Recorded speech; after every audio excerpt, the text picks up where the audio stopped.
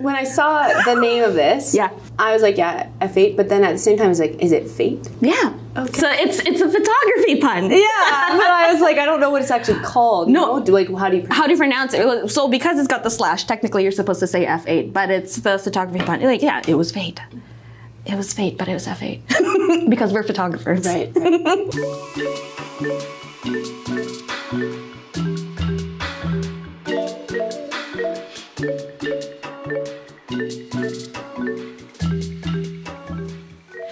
Thanks for joining us on another episode of It Was F8, brought to you by Don's Photo, where we talk to your local photographers and content creators.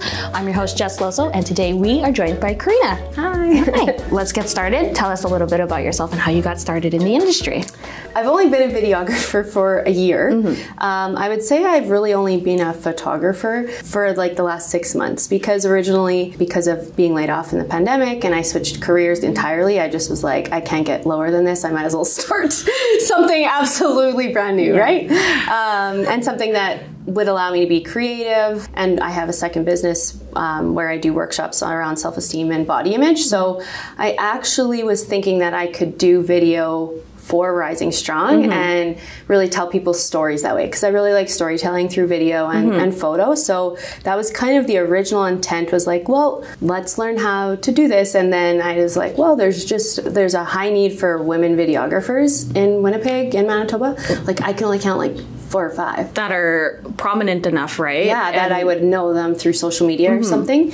Um, I also just love the wedding industry because it's just fun. I mean, sometimes it's a little scary. but it's kind of where you thrive, right? Right, Yeah. and I have a lot of friends who are in the wedding industry, so it was kind of the natural um, progression to be like, okay, I could do wedding video too. Because as someone who is also getting married this year, um, I'm, I don't have a, a woman videographer, but I think I would be more comfortable, um, you know, in those times where like you're getting ready, with your friends, to have someone that you can really vibe with. Not that we can't vibe with men. No, but and that's that's a fairly common thing. And some of the guys that I know that are wedding photographers or boudoir photographers, they've definitely said like, you know, you have to have you know your second shooter or something like that, just in case if some people are not comfortable having a man shoot them getting ready in the morning or shooting a boudoir photo uh, for them where they don't feel like they're getting leered at, Yeah.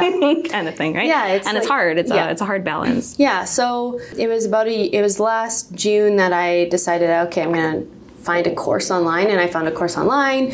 Took this 2-week course. Um, I went out and bought a camera cuz I'm like, yeah, money, EI, but let's buy let's buy really expensive equipment. And then you can't work for like 6 6 to 8 months. It's that retail therapy that really kind of had everybody going through the pandemic, right? Yeah. Online shopping, but it was a creative outlet as well for Right. you. That was really big in a job that I think I've always needed um, to be creative, Mm-hmm. kind of to be my own boss. So this was kind of the good way of doing that. Mm-hmm. Um, and then I would say, when I say like photographer for only the last six months, I would say it really was in around February, March that I was like, let's just also learn photography Mm-hmm. because I have the equipment and I like taking photos. I've always liked taking photos just Mm-hmm. as a hobby. I just self taught uh, photography and I shot in JPEG only until about June. Well, you know, that's that's a fairly common Because thing. you know why? I was like, oh my god, like it's in raw it takes so much space. and I was like, mm, eh, it, it looks fine to me in JPEG. And then like just one day I was like, no, let's just shoot in JPEG. Like I heard that's really amateur.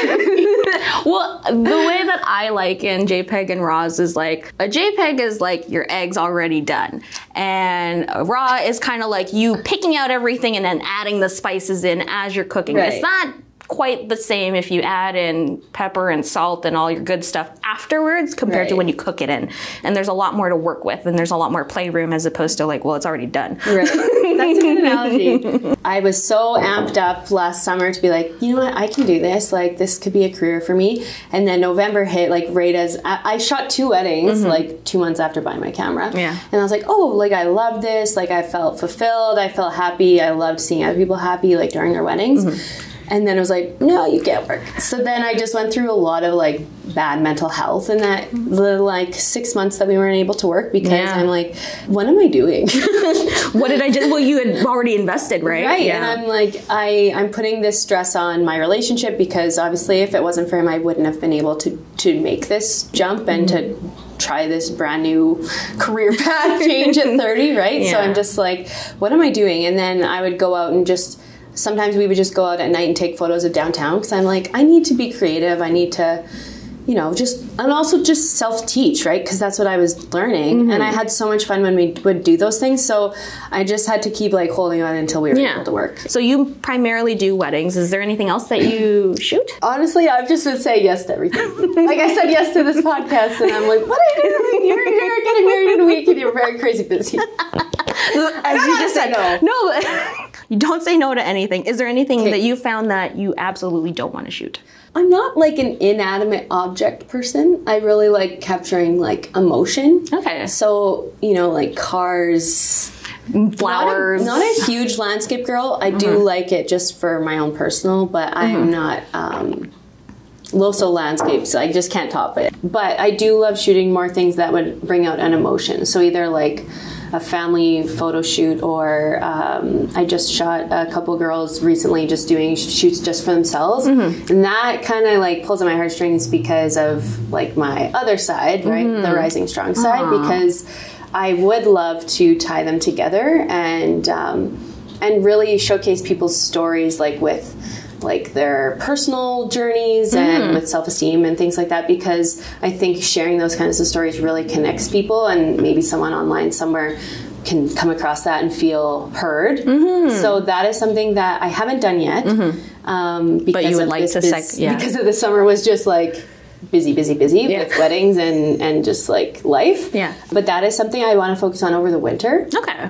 is um, putting like a call out for anyone that um, would like, and I would offer this service for free. Mm-hmm. So like a free photo shoot, and then we also do a little interview where you know maybe before and after, like how did you feel before? Where have you ever struggled with anything? Do you have any advice for others? It's of stuff. making that real connection with somebody, right? And that's kind of how it's progressing too, is going beyond like this is the creative side of what I'm doing. It's just showing appreciation for who they are, their journey kind of thing, and giving them a platform. Right. Yeah. Yeah, and I think there's more to just a pretty photo, right? Because there's like a human behind that photo, Mm-hmm. Yeah. right? It's a lot of work. Video is a lot of work. Oh God, is. But you love, me, but it's so worth it when the end product is the story you want to tell, right? Right. And it, It is. conveys the emotion that you If want. If it can make someone cry, laugh, or feel something, Yeah. I've done my job. I'll see how a, a real year is first, because like I have no idea how to Mm-hmm. Yeah. forecast what a, a non-pandemic year would be. But um, my my goal would be to work weddings really like June till October, Yeah. and then focus more on small business and um, like storytelling in the winter. okay. What was your first camera? When I was 18, I had a Canon Rebel XS. It was like, I don't know, a $500 camera. Uh, only ever used it on auto. Mm-hmm. Um, thought I was really artistic and like taking cool photos. Hey, I'm sure you were. Um, I actually still have the first photo, like the literal first photo I ever took. Yeah. And it was unedited because I didn't edit back then. It was just what I took. Mm-hmm. Yeah. Um, I have it still, and it's just like of flowers in my mom's backyard. And I think I once I rejig my office, I'm gonna take that photo and just put it on the wall. Do you have a favorite piece of equipment? Um, I really love my gimbal. Okay. Um, Makes a difference. it really does. when I look at like video that I did before it, I'm like, oh god. but even then, like I'm still learning. I mean, it's never always smooth. So Mm-hmm. No. When I'm looking, like someone recently, I never do send raw video Yeah. footage. I don't know why somebody would want the raw video with I, ca- I think people don't understand that it's not going to be smooth the whole time. Yeah. Because like your gimbal's always Well, moving. it's the same thing. Like, and uh, I've had this happen in the industry where people will ask like for the raw photos, like they want the raw files. I'm like, what are you gonna do? Like, what's the point of going through me if you don't want me to edit it for you? Do you give raw photos? No. I I delete those. Right? And I'm like, I'm not putting my name on this. Like, Yeah. like, why did you hire me if you just wanted unedited photos? Right.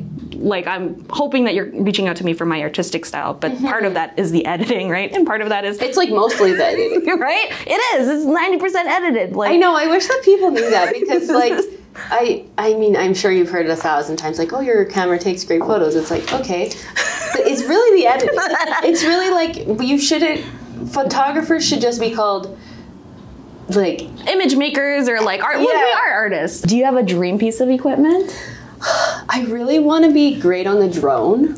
Very scared of it. Okay. Um, I borrowed um, a friend's or my dad's friend's drone, and I've had it for about like a couple months. Mm-hmm. Yeah. I've flown it twice, and I've just been like, I'm scared. I'm not gonna make it. Is it a large one or is it No, one of the, like a Mavic Air? Kind yeah, of thing? it's just a Maverick Mini. yeah. Mavic Mini. Mini, yeah. Yeah, and I think it's because it's not mine that I'm scared to really use it. It makes a difference when you own it. Yeah. Yeah. So I that's my next thing. But you know, I, I say that all the time. But I think I just need to slow down and like actually spend some time doing it. But it will it will level up my video so much. Mm-hmm. just go into an empty field away from all the airports and like in uncontrolled airspace because you're too, you're usually fine. Have Yeah. your drone license Yeah. and just fly. It's super fun. Mm-hmm. It's totally. And it, it is really fun. It's really fun to like the amount, the different kind of shots that you get. I know. Yeah. I know. And it was really on my list to do this summer, and then it just got away from me, like Mm-hmm. Yeah. everything. Well, again, you're getting married, so we'll, Yeah. we'll give you a pass. Okay. Maybe I'll buy one next weekend.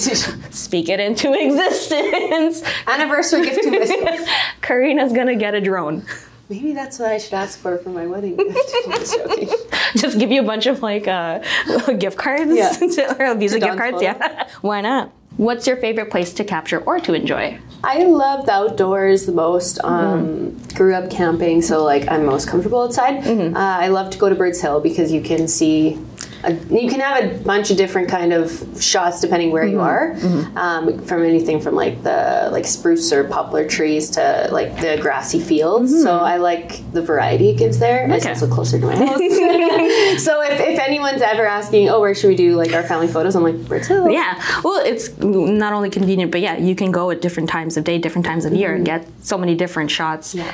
Alongside with the different scenery that you get from there. Yeah, and you could even go to the water if that's your thing. If you want to go to the beach. Do you have a favorite photo of yours that you've taken? Um, I have a few favorite shoots. Mm-hmm. I just decided that I wanted to do like little reels, um, every not every photo shoot because that'd be too much, but Mm-hmm. like special photo shoots to me. So like for my friend's maternity shot, I wanted to do something more artistic, so I brought like pantyhose covered the lens, you know, to make it like more vintage looking. Yeah. Just special photos. So they're like my friend's engagement photos, like they were kind of the turning point where I had just started being like, okay, I'm only shooting raw. And I'm like, wow, so much better. But you have a number of uh, ones that kind of resonate And I with think you. that I like them the most because of the emotion that they made me feel. personally. Yeah. It's a little. but it's in that frame, and you Yeah. like. I'm sure it's it goes beyond you just feeling that. Like most of all, your clients can see that, and potential clients can see that. Yeah. Right. Like, hey, these are the kind of emotions that I want captured. Yeah. Let's go through Karina. Yeah. me. What is your ultimate photography goal at this point, or videography goal? travel. Mm-hmm. Um, I would love to be asked to like follow someone around Europe or South America. Like that'd be really cool. Even if it's like a like a blogger or like a wedding, Mm-hmm. and then also to train my fiance to be my second shooter. That's kind the dream, right? I know. So like, like if you were ever to have a business partnership, it's like, well, why can't my spouse do it? yeah. Well, I know I know a few photographers who've trained their spouses to do that um, for when they do like elopements or you know Ooh. fun fun trips. So I think that, and to also be known as like a storyteller. Yeah. Um, and someone who captures heartfelt stories or really emotional ones. Yeah. Um, Documenting. yeah, I, I love documentaries. Not Yeah. that I want to be A doc, like a, like a scientific documentary or anything. just telling- Oh yeah. Yeah. Well, obviously, like Yeah. that'd be the dream to be paid to travel. Yeah. Right. So um, yeah, and and just being able to be financially stable. Like, that's that's a dream. yeah. right? The entrepreneurship paired with the creativity. Yeah. Yeah. Yeah, and being able to just make my own schedule, and if I eventually can have kids, then I would want to have a schedule where I only work a couple of days a week so that I can spend more time with them. Yeah. So What's your craziest story, photography, videography related? I don't really like have crazy story. I mean, I have injured myself. Oh, Yeah, I was filming a wedding and I was like filming the bride walking down the aisle and Yeah. she started to pick up the pace. So I'm like picking up the pace and I just smoked my head on a tree so hard in front of 100 people. And I was like, I'm concussed, but I have to keep going. I am concussed, but I'm paid to be here right and, now. and then on the tripod footage of myself, I see it. I'm like, boom. But you can. so eventually I'll probably share that sometime, but like I I felt I felt concussed for a day or two. Really? Yeah. You're like, I gotta take a break. Yeah, literally. And then it was like, okay, I gotta film their, their ceremony now. What's a piece of advice that you would give to anybody that's looking to get into videography or photography? Um, to just go out and like start it. Um, don't overthink things. Try and reach out to people in the industry to not just collaborate with, but just to like make friends with, right? So I think the best thing for me to get into the wedding industry was um, a friend of mine who's a wedding photographer. I saw that she was doing a styled shoot, and I was like, I just DM'd her. I was like, Do you guys have a videographer yet? Because I never see videographers at styled shoots. And she's like, I never even thought of that. She's like, Do you want to come? I was like, Yeah. I only had a tripod at the time. So I'm just like, yeah. I would have only owned my camera for a month and I just went, right? Yeah. So, and I think from there, I now see videographers more at, at styled shoots. Yeah. And I myself have done three. And I think that doing those kinds of things and Mm-hmm. reaching out and just, instead of waiting for people to come to you, just reach out and say, hey, if you're going to do a styled shoot or do you want to collaborate on that? Just to get your name out. Um, Mm-hmm. Create those opportunities for yourself. and you'll have to do some work for free. Yeah, it's not. It's natural at the beginning, in all Yeah. honesty, right? Because Yeah. it's like, well, I don't know again, like what my my shooting style is. I don't know what to expect or how my my workflow is going to be, right? Yeah. We're gonna do. Is it this one? I think it is. Yep. So it's it's like catchphrase. Okay. Um, so there's words in here. So we'll do two each. so I will I will say one one of these words. I'll, I'll pick one, and then I only nervous. get like one word or like two words. We'll say, and you get to guess what that is. Okay. It's all photography related. Okay. So you're testing my knowledge. right? Don't shoot in JPEG. okay. Um, Oh, God. long Exposure. lens. Telegraphic. Zoom. Oh. You were on the right. Telephoto lens. There you go. Telephoto. Yeah. um, What is it? no, it's in there. I was like, I want to prize. You're like, I get a prize. Like, no, you get you, you, know the knowledge of oh uh, photography related words. Sunset. Landscape. Light. Backlit. Um, sunset light. Mm, pretty.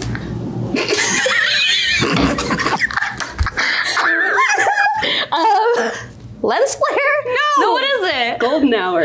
Oh. Oh, damn! I messed that up. I should know that. Okay. You really should. okay, I will take another one. Landscape. Wide lens. Yeah, basically, it's wide angle. I'm like, why did I get these two words? Wide angle, um, telephoto, Mechanical. zoom, Clean. mechanical, clean, sh- uh, ISO, Um, attachment. attached, clean attachment. What was the, the first word? Mechanical.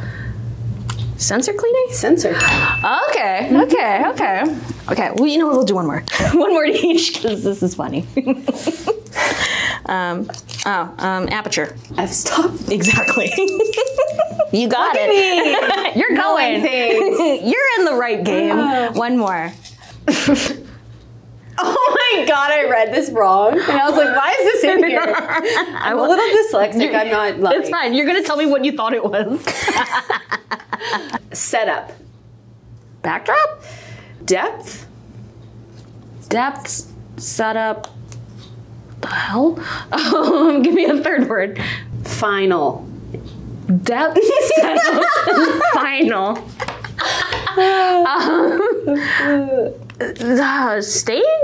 Compositions. Okay. No, I didn't yeah, know that is a weird one. Yeah, that is kind of a weird one. That's Yeah. all right. I never use that word in my actual language. It's a comp- It's a composition. I composed this by myself. I thought I read it cosmopolitan. I'm like, what like what? Like the magazine or the drink? or like, are we watching Sex in the City? Yeah, I don't quite understand. idea. okay, there is another cup beside you. Okay. And you're gonna pick one, and it's a it's a cup of pens. A cup of- Photography, yeah, cup Okay. of uh, photography fun So you pick whatever you feel your heart is drawn to, and you're gonna look into this camera, and you're gonna read it with all of your conviction. Let's find a dark room and see what develops.